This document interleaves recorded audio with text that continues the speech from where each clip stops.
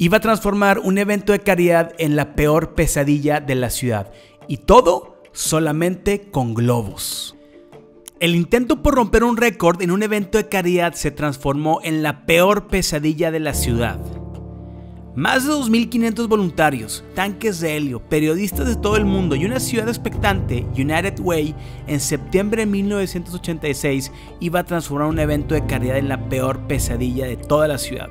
Y todo solamente con globos.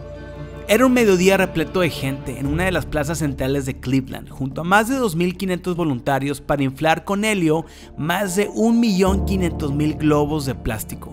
Originalmente eran 2 millones, pero le declinaron por algo lógico. Esa cifra les parecía una exageración.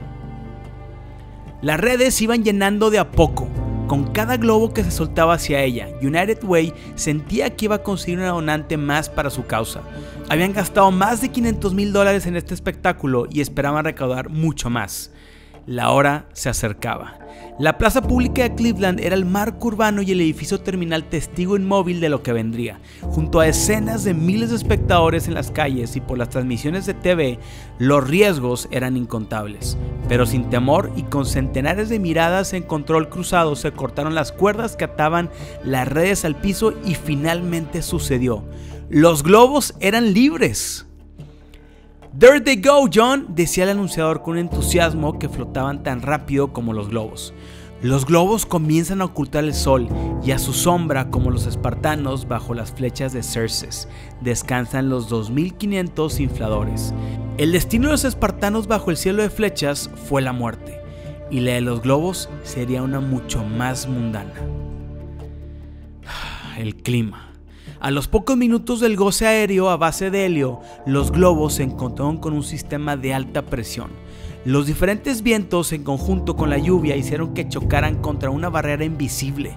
Los espectadores sentían que una fuerza invisible e indetenible que, para nada conforme con frenarlos, había hecho algo peor. Comenzó a bajarlos. Los globos, que como un tumor envolvían el edificio terminal de a poco, se fueron transformando en una amenaza muy colorida y contaminante. United Way se mordía las uñas y pateaba tanques de helio vacíos.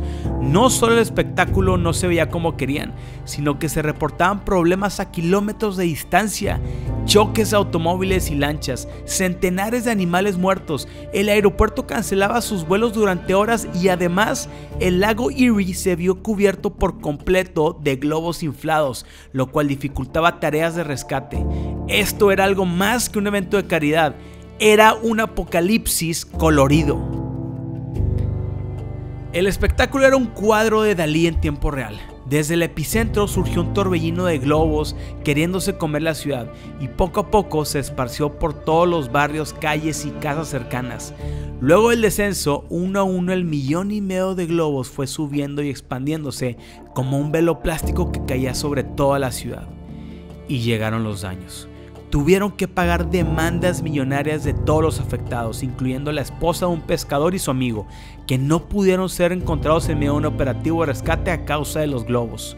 Lo que comenzó siendo un espectáculo terminaría siendo un infierno plástico.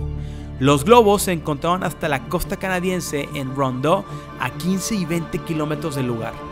Los globos eran biodegradables y no tardarían en desintegrarse, pero de donde nunca se iría esta historia es de la memoria de todos los habitantes de Cleveland. Y ahora me encantaría que en los comentarios me des tu opinión. ¿Quién crees que fue responsable aquí? ¿Quién dirías tú que tiene la culpa de esta catástrofe que sucedió en Cleveland? Y también dime si tú ya conoces esta historia o sabías de este evento. Me encantaría leerte y saber tu opinión. Yo soy Beto Pasillas y esto es todo por el día de hoy. Adiós.